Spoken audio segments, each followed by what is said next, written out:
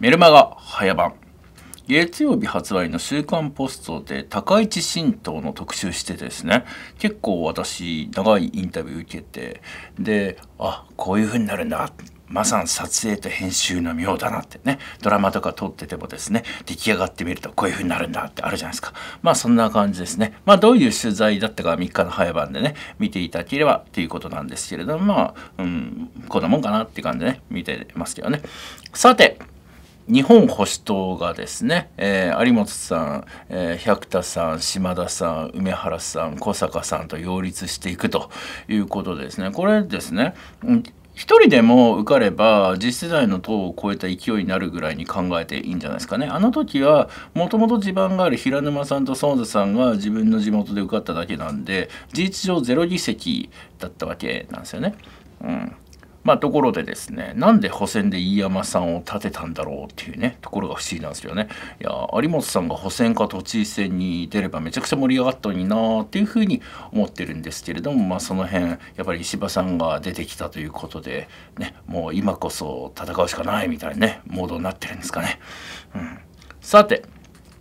まあ石破さんにみんながね不安なの不満なのねわかるんですけどここで泉続投立憲がやってたら自民党に安心してお給据えることができたんですよ。なぜならば私言い続けましたけれども来年の7月で3人のねじれが解消するなんてことがないんで狂ったことができないし泉健太は3年間立憲民主党に狂ったことをさせなかったっていうね本人には党内で絶対言えない褒め方で褒めてくれるって言われましたよね。うん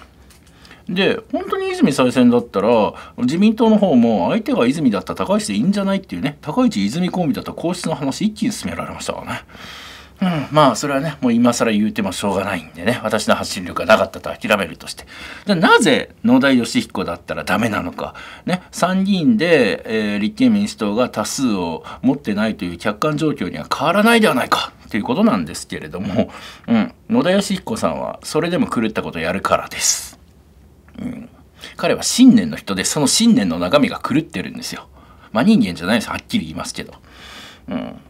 皇室の話でもですね、うん、悠仁さままでは変えないということには合意できますかってぬかが衆議院議長が聞いてるのに対してですね。仕方がないから認めてやるって答えた人ですよ。これ最近議事録公開されましたけれども。なんで代表選の前にこれぬかさん公開しなかったんだという点には私は非常に不満です。ちなみに原文の表現では「万やむを得ない」えー、分かりやすく言うと仕方がないから悠仁までは認めてやるってね言ったんですよ野田さん。いや個室の話これですからね。いやそれあの3人がねじれていうか何だろうが主張になったらそれねあの推進する無茶なね人ですからね。皇室に何してかすか分かんない人っていうことですからね。そして皇室と経済が今一体化してるっていうねも政策の争点の問題として。ということでね考え特に経済の方ねあの警戒してました。立憲民主党の政策ね発表されました。日銀の物価安定目標が今2%だけれどもそれをゼロにするまず一応0%超いや本当ね蝶の1文字入ってなかったらねもっとひどかったですけどあんまり関係ないですね。うん、早速各各所からですね各方面からですね まあ金融超引き締めじゃねえかと。ね、2%やっと超えたかどうかぐらいの時にね、ゼロなんて言ったらね、2%絶対超えないじゃないの。ね、うん、デフレターゲットじゃねえの。こんな露骨にデフレターゲットね、えー、言い出すやつ初めて見たっていうね。白川正明さんだってね、こんなことね、表では言ってませんからね、それをね、あの、野党第一党の党首が、それ、堂々と公約するってね、どこにね、あの、救いがあるんだっていうね、まあ、そうツッコミ受けておりますけれども、まあ、残念ながらね、あの、泉前代表が国民民主党の玉木代表にですね、まあ、0%超ということは0%近辺ということではなくて、2でも3でも、あの、超なんですって、まあ、その超の1文字がなかったら、その言い訳すらできない。うん、ちなみにねものすごく悲しいことね言いますとですねあの泉代表はですね2%じゃ生ぬるい3%ってねあの人知れずねそういうふうに公約変えてた検索するとですねそれが出てきちゃうその泉前代表がそんな言い訳しなきゃいけないって言ってまあそれがね党内でもあんまり広まってないっていうね、まあ、そこは泉前代表の反省すべきところなんです立憲の議員でも「えそうでしたっけ?」ってね言われちゃうレベルですよね。結局のところですねいろいろ話題散らしましたけれども正解再編しかないですよこれは。じゃあどうするかっていうことは、えー、倉山塾メルマガ本編でお話しいたします。うん。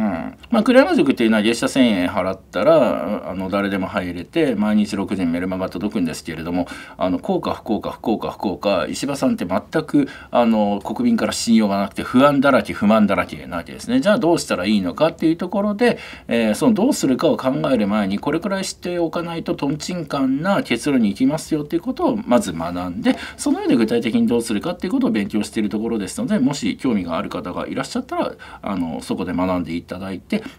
正しいとんちんかんではないやり方で国を良くしていただければなというふうに考えますので一緒に頑張っていきましょう国守りの塾でございます。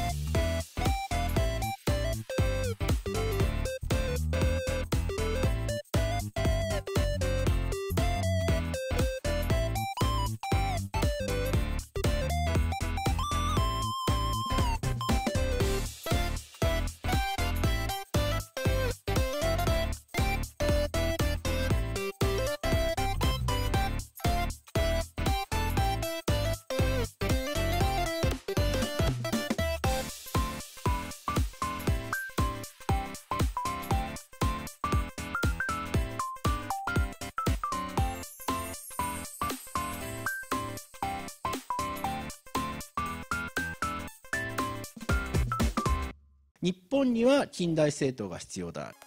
自分の政策与奪の権を政治家に任せていってはいけない。ましてや官僚シンクタンクにしている政治家に任せたら何をされるかわからない。規制が増えたり税が増えたりすると政府の力ってのはどんどん強くなっていくでそうすると自分たちの意思とは関係ない政治とか社会の意思決定がなされていく。それが環境に役立つのか役に立たないのかという人は大勢いたんですがそもそも手続きとしておかしい。民主国家というのはこれ基本的に手続きの世界なんですよね。